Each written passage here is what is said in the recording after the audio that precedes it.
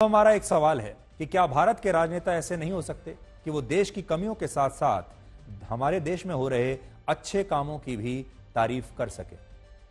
जब democracy index, human rights index, freedom index, hunger index, happiness index या media index, इन सब reports में भारत की आलोचना की जाती है और कहा जाता है कि भारत की रैंकिंग लगातार नीचे गिर रही है। भारत को पाकिस्तान, नेपाल, बांग्लादेश और अफ़गानिस्तान जैसे देशों से भी कई सर्वेज में और कई रिपोर्ट्स में पीछे दिखाया जाता है। तब हमारे देश के विपक्षी नेता तालियाँ बजाते हैं। इन रिपोर्ट्स पर बड़े खुश होते हैं। इन पर खूब राजनीति की जाती है और हमारे देश के विपक्षी नेता लगातार सोशल मीडिया पर उन रिपोर्ट्स को शेयर करते हैं कि देखिए, भारत की हालत कितनी खराब हो चुकी है और उसे सेलिब्रेट करते हैं और कहते हैं कि हमारी सरकार कुछ काम नहीं कर रही। और पूरे देश में ऐसी रिपोर्ट्स का प्रचार करते हैं।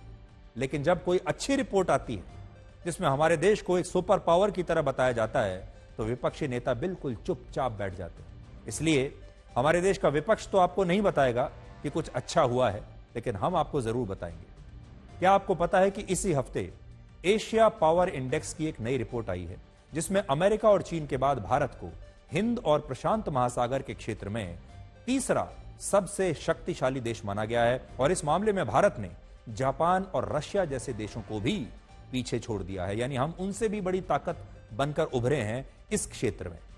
यह रिपोर्ट ऑस्ट्रेलिया के एक मशहूर थिंक टैंक, लोवी इंस्टीट्यूट ने जारी की है, जिसमें इक्यासी दशमलव सात पॉइंट्स के साथ अमेरिका दुनिया की सबसे बड़ी सुपर पावर है।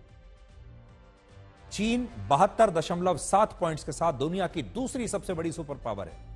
इसके बाद इसमें कुल 16 देशों को मिडिल पावर की श्रेणी में रखा गया है। यानी बीच में जो मिडिल पावर है, जो सुपर पावर नहीं बने हैं, लेकिन अभी बीच में है और मिडिल पावर में है, ऐसे 16 देश बताए गए हैं, जिनमें भारत उनतालीस दशमलव एक पॉइंट्स के साथ Japan, Australia, Russia, South Korea, Singapore, New Zealand और पाकिस्तान को तो छोड़ दीजिए। इन सभी देशों से कहीं आगे है। और पहली बार ऐसा हुआ है जब भारत एशिया पावर इंडेक्स में अमेरिका और चीन के बाद सबसे ज़्यादा स्कोर के साथ तीसरे स्थान पर है।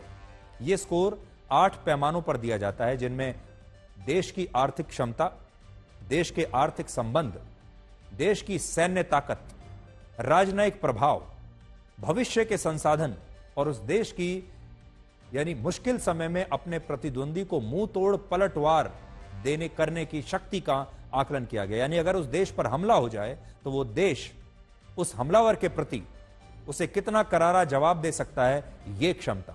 और इनमें ज़्यादातर मामलों में इस बार भारत को बहुत अच्छे नंबर मिले हैं, बहुत अच्छे पॉइंट्स मिले हैं, जिससे भारत अब सुपर पावर बनने में सिर्फ़ एक कदम दूर है। और इससे भी, इसमें यह भी बताया गया है कि सभी बड़े देशों में सिर्फ़ भारत ही है, जिसके प्रदर्शन में 2.8 पॉइंट्स की वृद्धि हुई है। और ये पॉइंट्स भारत की सॉफ्ट पावर से भी बड़े हैं। इस रिपोर्ट में सॉफ्ट पावर क्या बताई गई है? भारत की सॉफ्ट पावर है योग, भारत की सॉफ्ट पावर है बॉलीवुड और भारत के प्रवासी भारतीय। जिस तरीके से उनका जो इन्फ्लुएंस है, उनकी जो ताकत है वो बढ़ी है, उसके कारण भी भारत का स्कोर इस इंडेक्स में बढ़ गया है। आज अमेरिका, चीन, जर्मनी और जापान के बाद भारत दुनिया की पांचवी सबसे बड़ी अर्थव्यवस्था है। इस मामले में हम रशिया और ब्रिटेन को बहुत पहले ही पीछे छोड़ चुके हैं।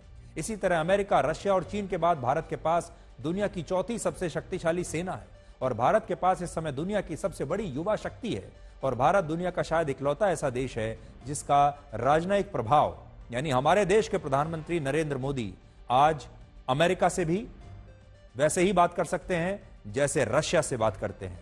रशिया से भी वैसे ही बात कर सकते हैं, जैसे यूक्रेन से बात करते हैं। इसराइल में भी जाते हैं और फिलिस्तीन में भी जाते हैं और इस समय भारत की बात पूरी दुनिया मानती है। जो दो देश कट्टर दुश्मन है, आपस में कभी बात तक नहीं करते, लेकिन वो दोनों देश भारत से ज़रूर बात करते हैं। और यही कारण है कि एशिया पावर इंडेक्स में भारत इस बार जापान और रशिया से आगे निकल गया। लेकिन हमारे देश के विपक्षी नेता इस इंडेक्स में भारत की मज़बूत स्थिति की कोई बात नहीं कर रहे। सन्नाटा छाया हुआ है।